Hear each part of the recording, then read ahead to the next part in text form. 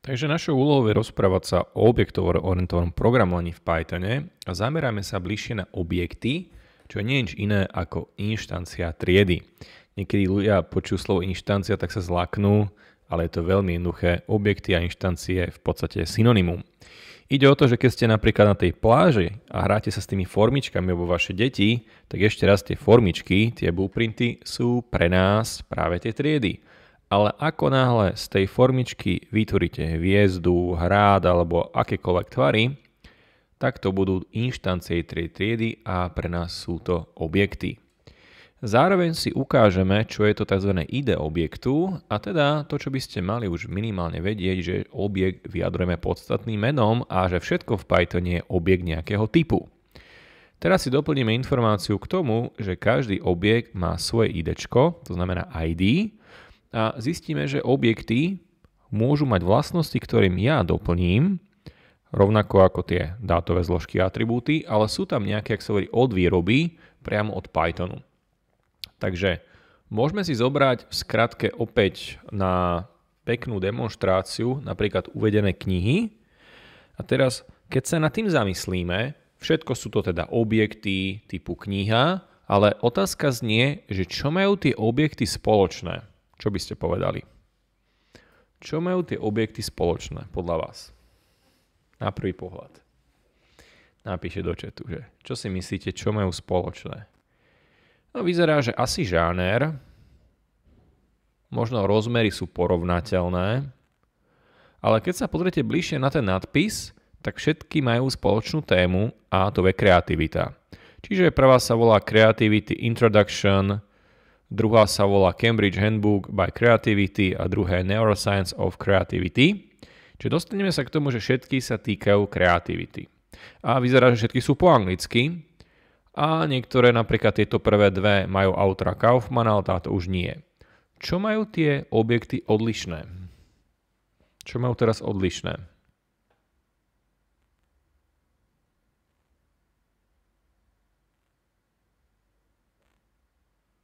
No.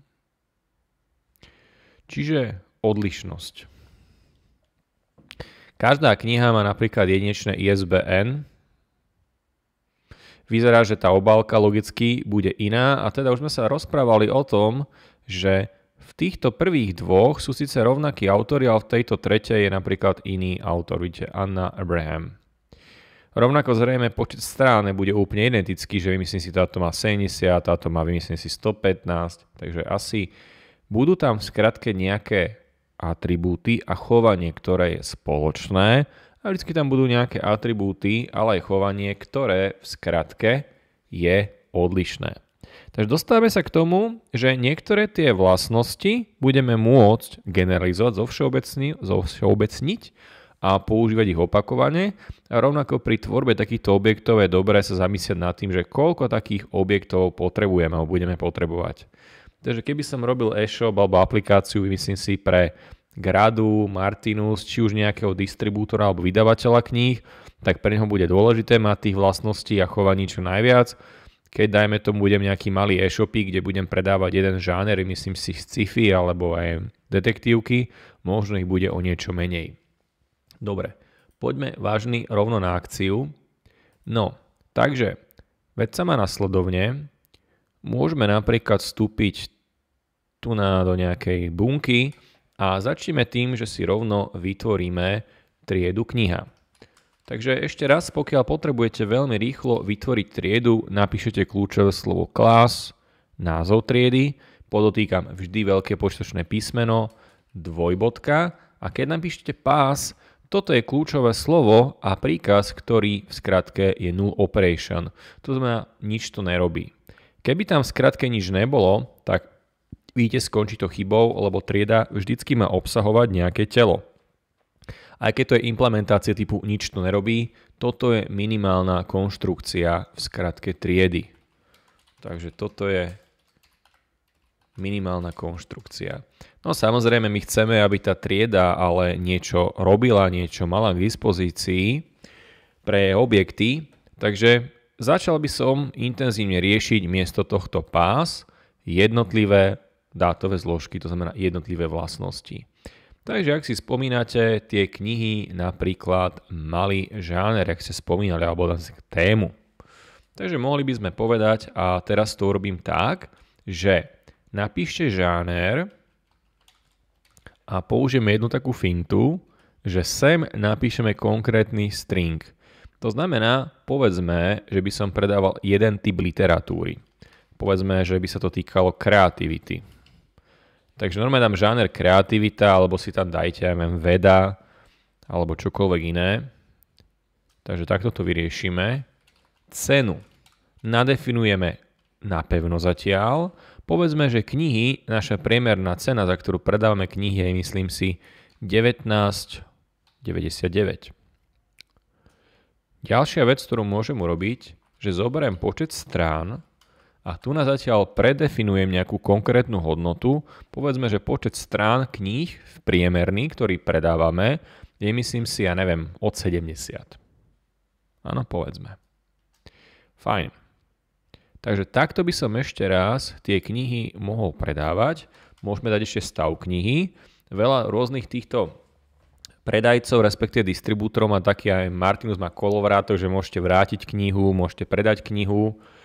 Takže robot kniha, tak dajme, že stav knihy, alebo dajme len, že stav. A dajme tomu, že predpokladáme, že každú knihu, ktorú kúpite v Martinuse je nová. Dáme, že nová. Dobre, toto, čo vidíme, sú ešte raz tzv. vlastnosti alebo atribúty. To znamená, keď to spustím, dám play, všimnite si, za normálnych okolností tu na nie je nič vidieť. Ale ja si začnem vytvárať objekt typu kniha. Či sa to bude volať prvá kniha alebo konkrétna kniha, nechám, nechám na vás, ale môžeme začať kľudne tak, že dáme, že kniha 1 a takýmto spôsobom sa tie objekty tvoria. Toto keď už urobím, gratulujem, vytvorili ste knihu a všimnite si, rozdiel medzi teraz a predtým je v tom, že táto kniha s označením 1 už má automaticky cenu. 19,99, počet strán je 70, stav je nový a žaner je kreativita. Keby ste chceli, samozrejme môžete pokojne to aj pomenovať tak, že dáte, že kniha, počiarkovník, vymyslím si, zoberiem Kaufmann a dám takto, že kreativita Takže nechám na vás, ako tie objekty pomenujete. Tak. Dokonca môžeme urobiť aj to, že ten žáner nebude kreativita, ale mohli by sme v skratke vybrať nejaký odbor nad tým. Možno máte literatúru, ktorá sa zaoberá pedagogikou, vzdelávaním, takže môžeme kľudne vzdelávanie, aby to bolo ešte širšie. Vzdelávanie.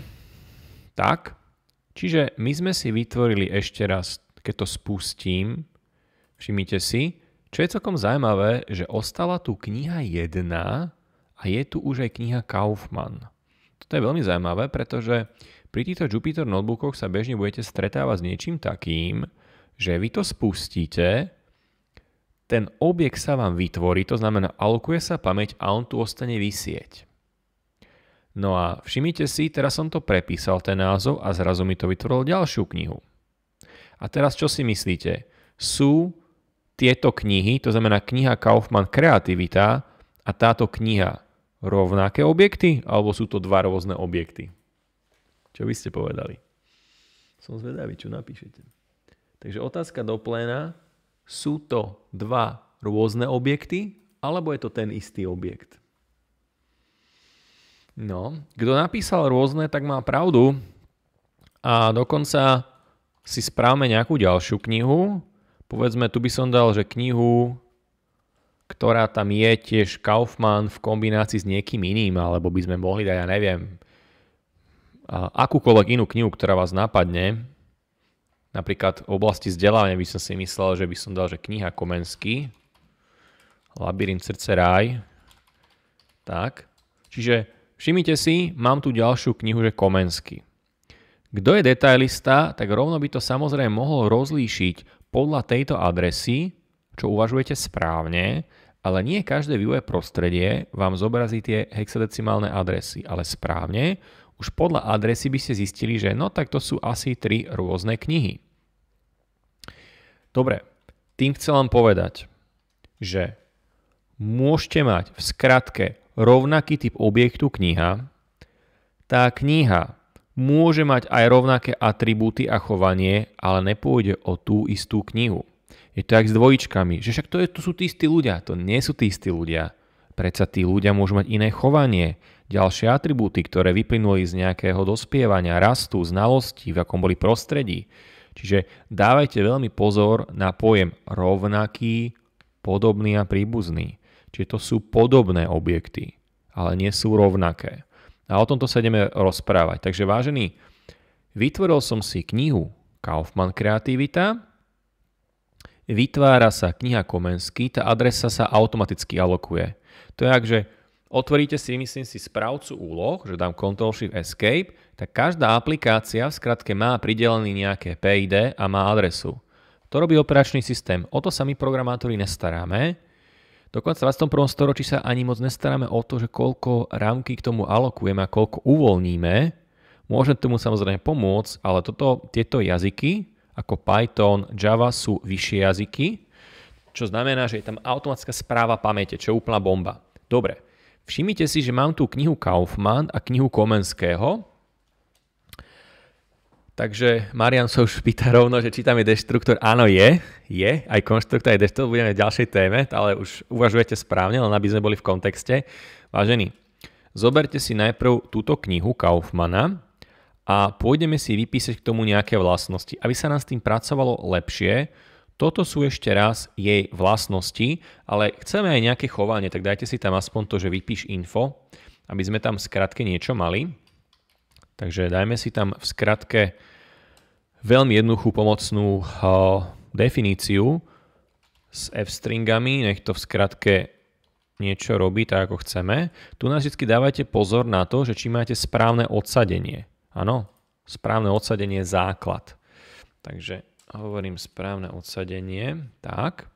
Čiže vypisovali by sme si tu, že kniha, dajme žáner, nech to nejako vyzerá.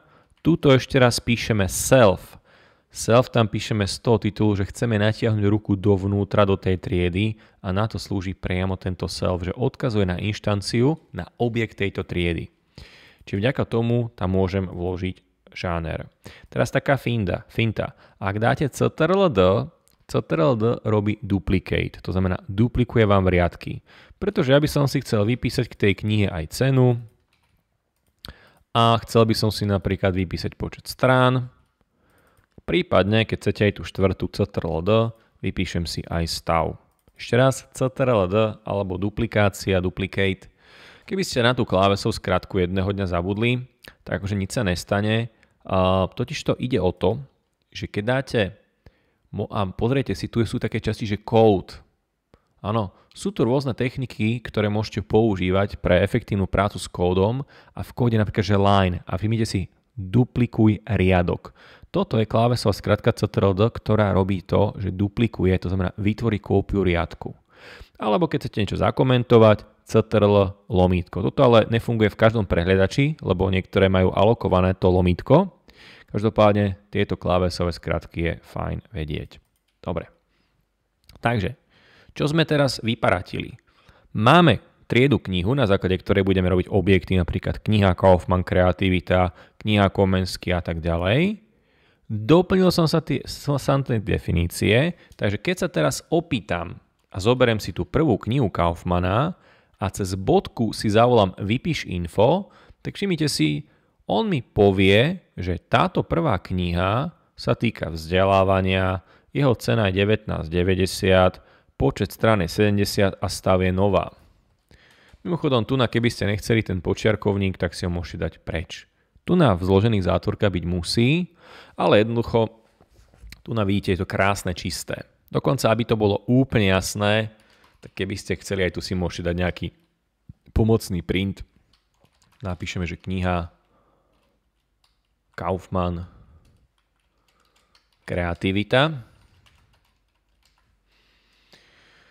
Kreativita. No. A teraz to isté by som chcel napríklad z nejakou knihou od Amosa Komenska je Magnus. A, takže dajme encyklopédia Magna, alebo čokoľvek vás nápadlo, proste akákoľvek kniha od Jana Amosa Komenského, didaktika Magna, alebo čokoľvek.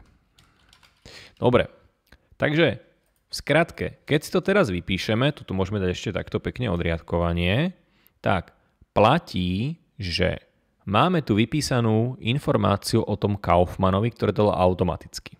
Áno, ale ja by som chcel vidieť to isté ohľadom tej knihy Komenského zatiaľ, čiže chcem vám zatiaľ povedať, že to správanie je rovnaké. Ale to nehovorí nič o tom, že keď máme rovnaké správanie, že ide o rovnaké objekty.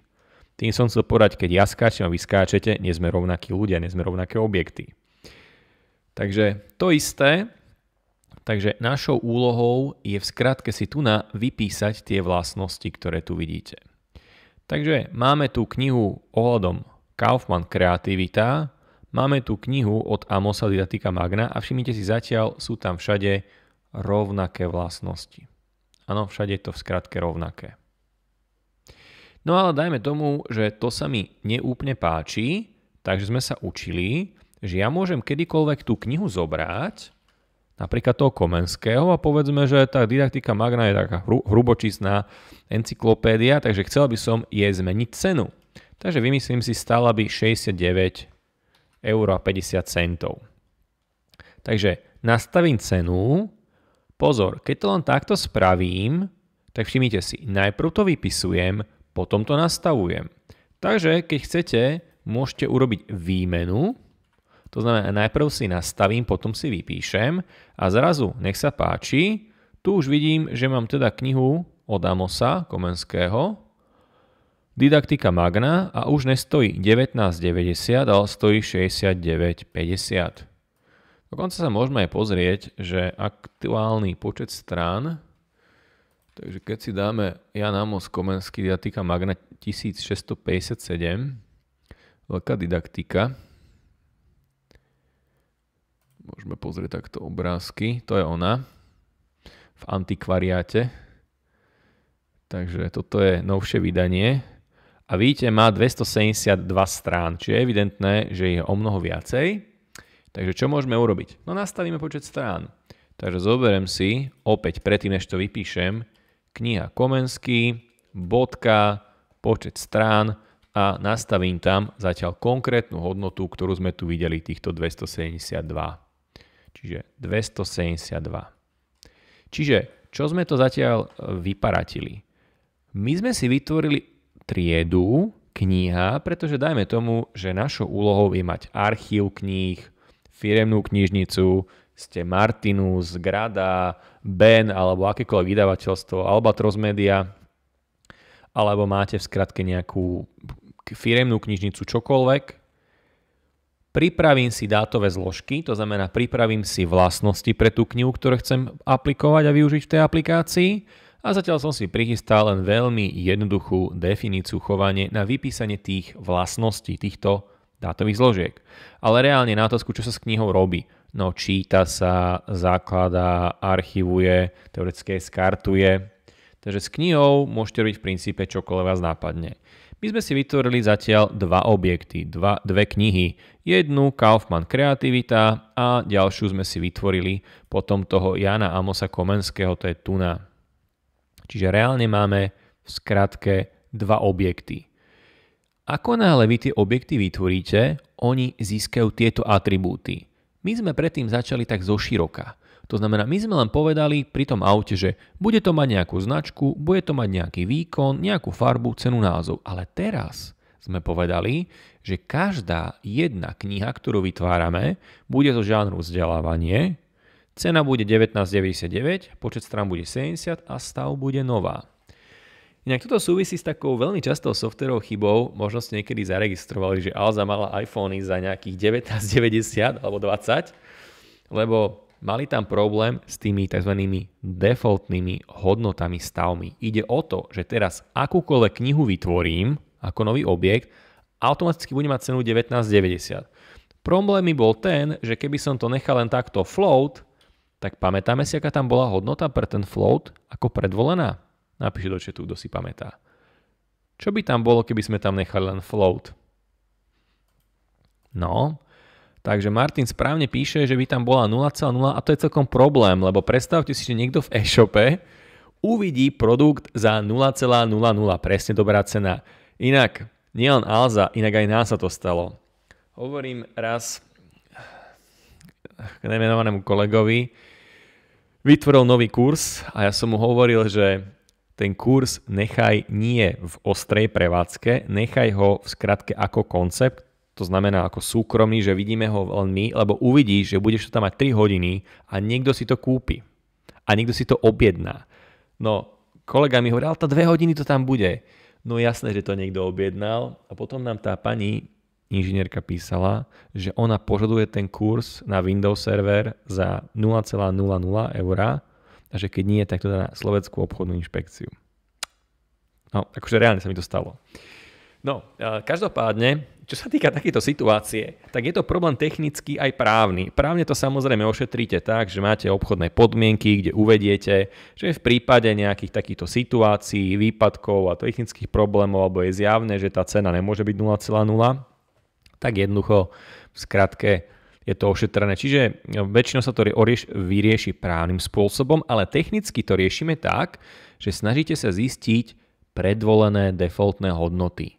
To znamená, nechceme, aby tam bolo počet stran 0, aby tam bol stav žiadny, aby cena bola žiadna. To znamená, akýkoľvek produkt vytvorím, už má aspoň tých 19,99.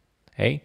Čiže predstavte si napríklad, taký môj obľúbený príbeh je s televízorom na lepšie pochopenie. Takže, predstavte si, že máte triedu televízor. Klas TV televízor. Prosím vás, televízor má aké vlastnosti? Televízor má aké vlastnosti? Čo by ste povedali? Televízor má aké vlastnosti? Dajte nejaké atribúty. Veľkosť, áno, keď Slováci dokúpať televízory, pozerajú samozrejme na veľkosť uhlopriečky, určite aj na typ dispela, či je to OLED, plazma, LCD. Čo je jedna z najdôležitejších vlastností, keď Slováci kupujú, ale nielen Slováci, keď kupujete televízor. Cena, jasné, ale potom aj značka a tak ďalej. Dobre, čiže to sú atribúty. Už začínate uvažovať objektov orientovanie, čo je veľmi dobré. Čiže keby som tam nechal takto, že značka, a len poviem, že to je string, alebo by som to mohol riešiť takto na hulváta, tak značka tam je žiadna. A takto by som mohol pokračovať, že cena, keby som dal integer alebo dám takto 0, chápete, že to asi nebude úplne najrozumnejšie. A teraz ten extrémny prípad. Hlasitosť. Hlasitosť. Čo sa stane, keď to nechám takto? Predstavte si, že máte software, ktorý má televízor. Čo sa stane, keď pustíte ten televízor? Čo by sa stalo? Keď tam bude takto nastavená tá, tá, ten atribút, tá vlastnosť. Aká bude hlasitosť? Čo by ste povedali? Presne tak. Nebude zvuk. A teraz, akože to sú všetko reálne softverové chyby, ktoré sa dejú, a ešte najlepšie je, že tí programátori vám povedia, že ale však zákazník nepovedal, aká má byť predvolná hlasitosť, tak som tam nedal nejakú hlasitosť. Zákazník povie, ja som ale nevedel, že existuje nejak čo ako defaultná hodnota, takže tým chcem povedať, že treba samozrejme pri nájsť nejakého človeka, konzultanta, ktorý vysvetlí tý jednej a druhej strane, lebo niekedy, keď eh, by programátor priamo alebo architekt komunikoval s tým zákazníkom, tak už povie, že tak radšej mi ten televízor nechceme ani to počítadlo, alebo radšej budeme počítať na kamenných doskách. Podstata je tá, že pokiaľ tam bude ešte raz hlasitosť, tak bude problém v tom, že, tá, že ten zvuk nepôjde. Čiže si kúpite televízor, z- zapne ten televízor niekto a nejaký jednoduchší človek povie, že však nás oklamali, však ten televízor nejde. A teraz si predstavte, že tí ľudia sa vrátia do toho obchodu, začnú, prvé, prvá reakcia je, že hnev a proste nervy, že vy ste im predali pokazený televízor, ktorý nefunguje. Predajca pozerá, alebo ten technik, že čo sa deje. Tak zapnú ten televízor, aby ho vyskúšali, teraz televízor sa zapne, nejde zvuk, samozrejme ten technik alebo ten, čo to predáva, predajca zvýši hlasitosť a hovorí, že pani, ale ten hlas tá hlasitosť tam funguje, len si bolo treba buď dať unmute, alebo zvýšiť hlasitosť. Problém je, že zákazník sa cíti ako úplný hulpák.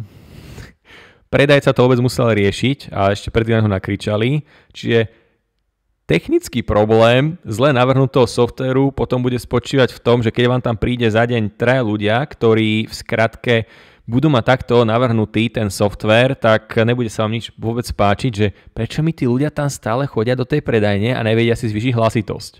Dobre, mimochodom, keď si pozriete napríklad hlasitosť, čo mimochodom nie je nič iné ako celé číslo, ano, od 0 po 100, čo by sa stalo, keby som tu nastavil hodnotu 100? Čo by sa stalo, keby som tam nastavil hodnotu 100?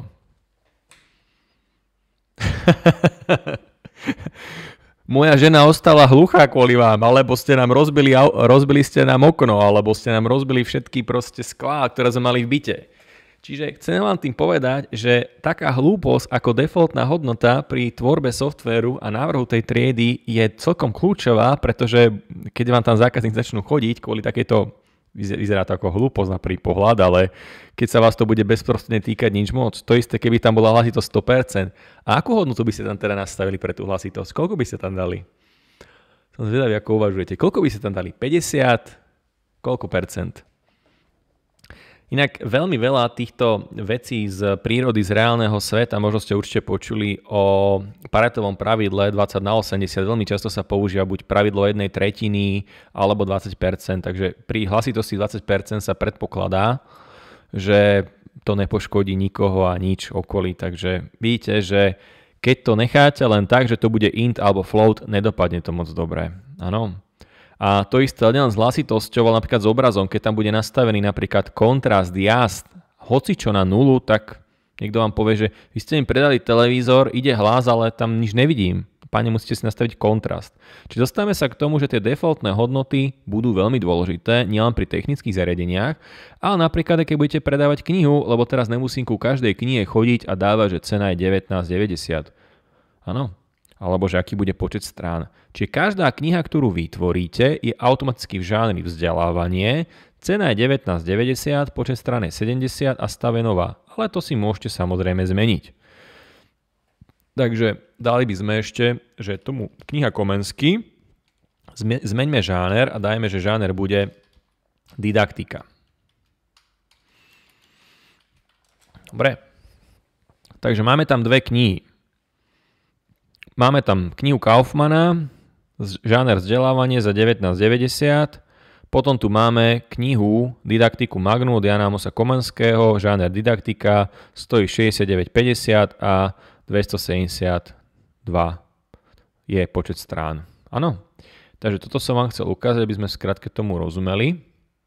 No a teraz sme sa rozprávali o tom, že OK, tak e, sú to ako keby teda dva, dve rôzne knihy, ale ako to v skutočnosti overíme?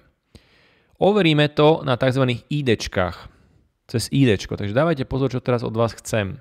Kľudne to môžete tu na, keď ukážete na rozmedzie týchto dvoch buniek, tak je tam, že insert code cell. Aby sme to mali osobitne rozdelené, vytvorte si tu na novú bunku. Tu je také pekné, že plusko insert code cell. Môžete fungovať naprieč rôznymi bunkami, takže chcem od vás veľmi jednoduchú vec. Dajme print a vaša úloha je veľmi jednoduchá. Vypíšeme si ID knihy. Takže poďme najprv vypísať ID toho Kaufmana. Takže kniha Kaufman. Dajme, že Kaufman ID, dvojbodka. V Pythone máte krásnu zabudovanú funkciu ID, vidíte, do ktorej idú objekty Takže zoberiem si ten objekt kniha Kaufmann Kreativita. Ak to spustíte, zistíte, že tá kniha má nejaké ID. To je také veľké celé číslo, áno, v podstate formát longu. A to isté, keď dáme CTRL-D, zopakujeme pre toho nášho Komenského. Čiže dáme, že kniha Komenský a tu si dajme tú knihu Komenského, áno? Čiže kniha Kniha, kniha, kniha, Komensky. Je evidentné, že mi uveríte, že tie dve knihy sú rôzne, čiže tie objekty sú rôzne. Nedajte sa nalakať. Vidíte, že prvých nejakých 8 tisíc je rovnakých, ale keď sa pozrite hlavne na koniec, vidíte, že to sú dve rôzne idečka. To sú dve rôzne knihy. Čiže tým vám chcem vysvetliť a povedať, že každý objekt, ktorý vytvoríte, je jedinečný každý objekt je nezávislý, tak Švajčiarsko. Čiže pri programovaní takýmto spôsobom, takýmto uvažovaním platí, že tu na proste myška moja je nezávislá v princípe od mojej osobnosti, ak ju nechytím.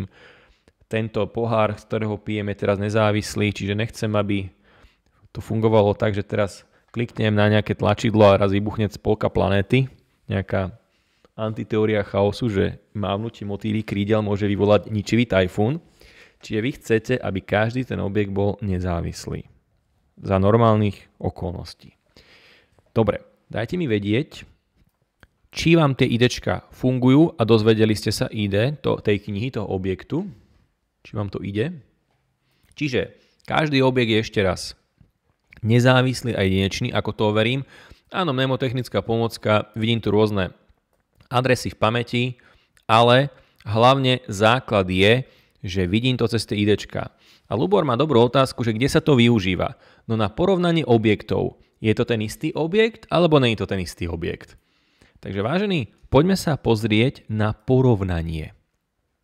V praxi použijeme túto identitu a funkciu ID na to, aby ste skratke zistili, či dva objekty sú rovnaké, alebo nie sú dva objekty rovnaké. Takže môžeme si to rovno prakticky vyskúšať. Takže vyskúšajte následovnú vec. Je to veľmi jednoduché. Zoberte napríklad tú knihu Komenského a Kaufmana a opýtajte sa, či kniha Kaufman je kniha Kaufman Kreativita. Toto je operátor, ktorý sa volá a používa sa na overenie identity. Všimnite si, dostal som teraz, keď tam napíšete to isté, true. Dám CTRL tak keby som sa pýtal, či je každý človek človekom. No je. Ale keď sa teraz opýtam na tú knihu, povedzme od Komenského, tak sa v skratke dostaneme, že false. Tu na, keď to chcete mať obidve pekne vypísané, tak dajte si tam prosím vás nejaký print, aspoň, aby ste mali jeden aj druhý výsledok, aby sa vám to neprepísalo, keď chcete vidieť jeden aj druhý. Takže v prvom prípade sú rovnaké, lebo to je tá istá kniha, v druhom prípade vidíme pomocou ISU, že je to v skratke rôzne. Toto, čo robíme, je testovanie identity. Pýtam sa, či ide o rovnaký objekt. Dobre. Takže toto je napríklad taký štandardný uh, use case, ktorý sa používa. A ešte vám chcem ukázať jednu veľmi dôležitú vec, že ako to IS funguje. Prosím vás, to IS nie je nič iné, ako to, že on zistí ID týchto dvoch objektov a dá tam operátor porovnania. Vyskúšajte ešte ďalšie dve veci. Zoberme si zrovna napríklad celý tento print, jeden aj druhý, a miesto is dajte dve rovná sa. Veľa ľudí pozná to, že vo svete programovania, ak niečo porovnávate, štandardne sa k tomu používajú dve rovná sa. Áno. Inak ja vám to celé naformátujem, nech sa vám to v skratke o, dobre s tým pracuje. Takže ja to trošička učešem, aby to nejako vyzeralo. Takže tu môžeme dať, že jednotka, viete čo, ja to robím takto. Ja to celé takto troška učešem, aby to nejako vyzeralo. By sa v tom lepšie orientovali v. Dám tam tie F-stringy, lebo vidíte, že potom tu bude pekne, že jednotka, dvojka, budete ľahko sa potom orientovať v týchto našich výstupoch. Čiže ja to len teraz celé prepíšem a dám tam tie F-stringy a chceme sa naučiť, že ako funguje to IS na to testovanie identity. Áno, takže vec sa má nasledovne. Všimnite si, že dal nám to a dodalo nám to rovnaké výsledky.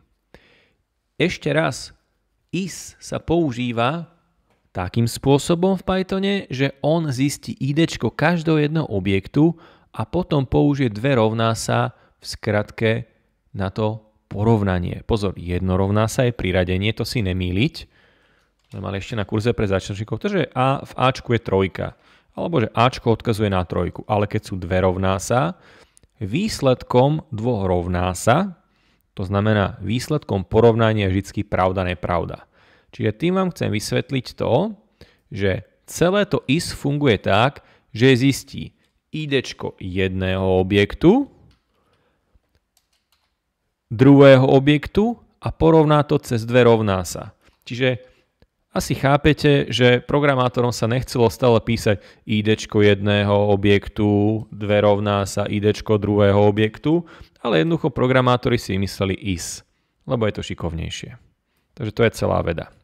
Čiže na toto používame napríklad v tom is, aby sme si v skratke porovnali jednotlivé id tých objektov, aby som zistil, sú tie dve objekt, sú to dva objekty rovnaké alebo nie sú tie dva objekty rovnaké. Na toto štandardne v praxi používame. Takže to je ako keby kľúč k tomu úspechu. No a ešte si musíme dať pozor, aby nám to sedelo. Niekedy je dobré si buď to odzoomovať, dať control space. Ide o to, že tu musí sedieť okrúhly počet zátvoriek, musí rovnako sedieť tieto zložené zátvorky v celom tomto výraze. Áno.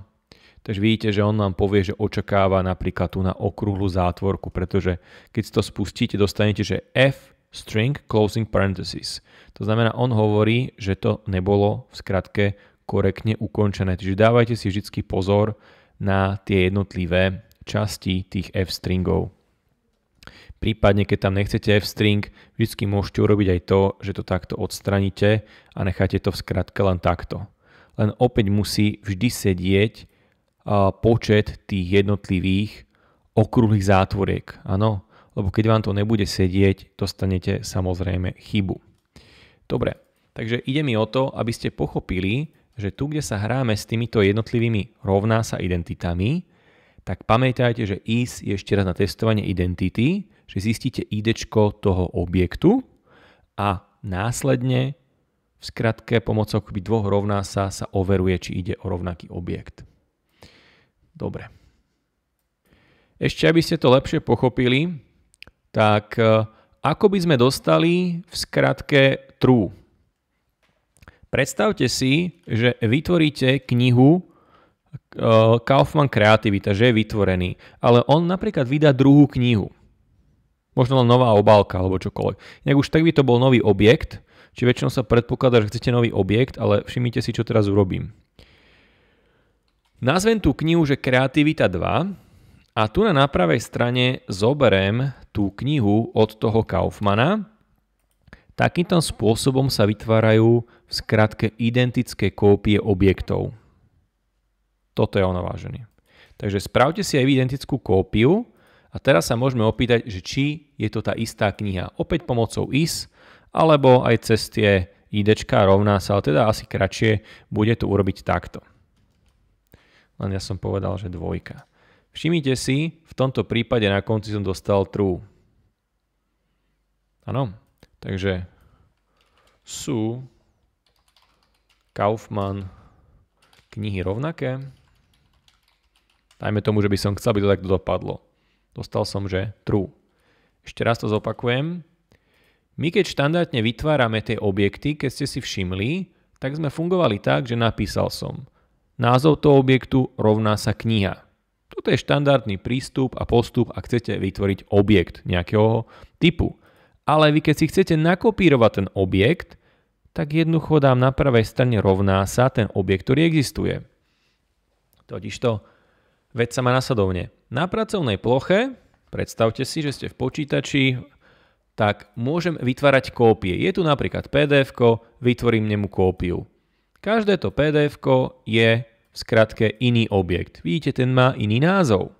Čiže už len o ten názov, o dátum je to iné. Neviem, že to sú rovnaké súbory. Nie sú. Sú podobné, ale to sú dva rôzne objekty. Prečo?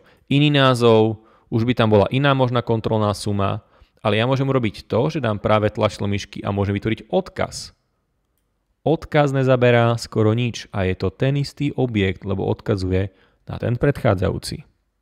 Takže toto je ako keby tá základná filozofia myšlienka, keď sa testuje identita. To znamená, pracujem s tým istým objektom, alebo je to úplne nový objekt. Mimochodom, keď to chcete vidieť ešte čierne na bielom, tak pokojne si k tomu vypíšte tie identity.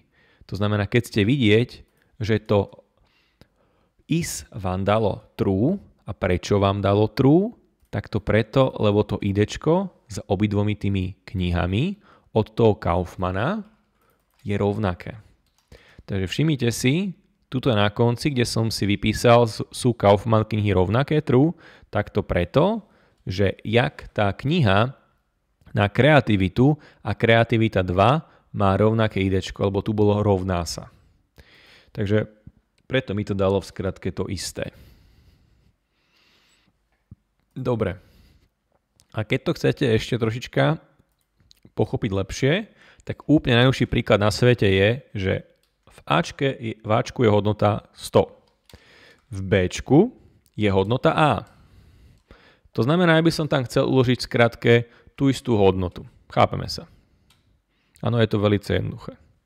To znamená, tu na keď si dám napríklad print A, pokojne by ste si mohli dať print B, tak asi mi chápete a porozumiete, že obidve hodnoty majú 100. Chápeme.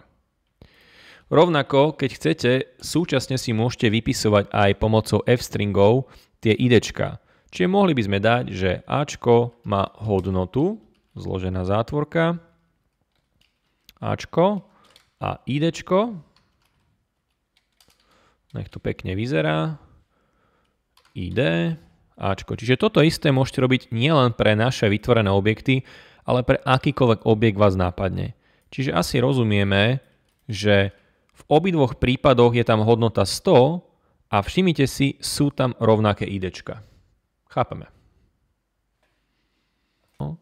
Roman sa pýta, čo keď v kniha zmením atribút? Čo sa potom stane? Stále je to rovnaký objekt. Zmení sa v jednom aj v druhom, lebo to je odkaz. Koniec to môžete vyskúšať. No a pokojne môžeme tu aj zamiešať karty, že vyskúšajte si, že asi mi uveríte, že keď zoberiem C a C položím rovné B, tak čo teraz? Aké C, je rovnaké ako ostatné, alebo nie je? Čo by ste povedali? To znamená, do B som dal A, do C som dal B. Dobre, tak poďme sa pozrieť. Tak. Čiže všimnite si, skutočne aj to C má rovnakú hodnotu. Chápeme. To znamená, nemusím odkazovať z C do Ačka, ale môžem aj do Bčka. Áno? Možno si spomínate na hodiny nejakej, nejakých logických systémov, kde ste mali také veci, že reflexia, symetria, hej, nejaké transpozície. A teraz ja to robím ešte zaujímavejšie. Položte D rovné 100. Vážený, D rovné 100. D bude mať aké ID? Rovnaké alebo to isté? To som zvedavý. Dčko. Čo by ste povedali? No, tu sa to bude veľmi zaujímavé vaše. Všimnite si, D má úplne rovnaké ID.